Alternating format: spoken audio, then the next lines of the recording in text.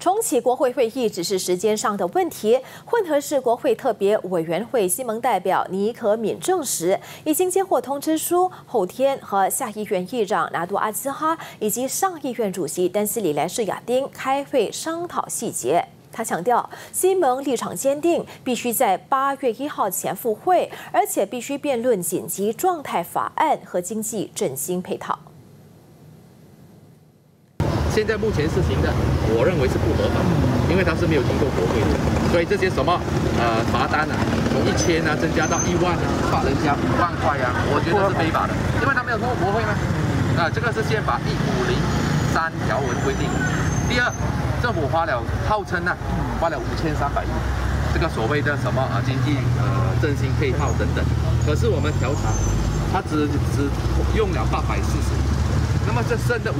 是呃四千多亿啊，钱去了哪里？